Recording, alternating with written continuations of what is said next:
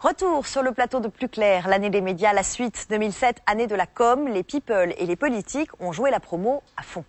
Comme chaque soir, c'est l'heure de l'Observatoire des séries, le meilleur des fictions françaises et étrangères de l'année. On regarde.